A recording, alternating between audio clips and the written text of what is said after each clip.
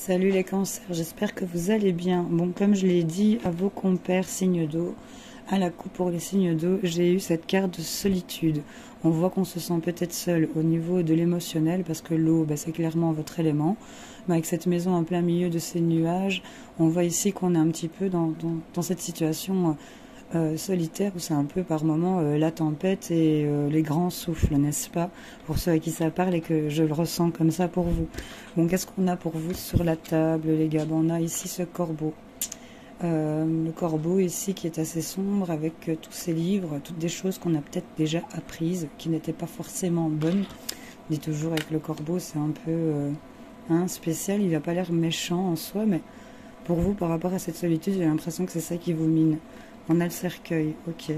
Donc ici, il y a peut-être des choses que vous avez apprises. Il y a peut-être l'annonce de quelque chose euh, par rapport, ben, soit à un décès, peut-être éventuellement pour certaines personnes. Euh, pour d'autres, ça va vraiment être la fin d'une situation où il y avait de la mauvaise augure, j'ai envie de vous dire. Ça me vient comme ça, ah, ben, avec la coccinelle. Euh, c'est un signe du ciel, j'ai envie de te dire. Il y a un envol qui va être pris. On a deux, deux bêtes à elle ici, il y a quelque chose qui prend fin. Avec le lys, on parle un peu de pureté.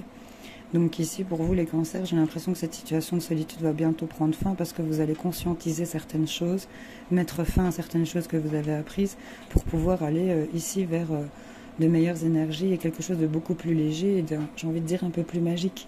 voilà.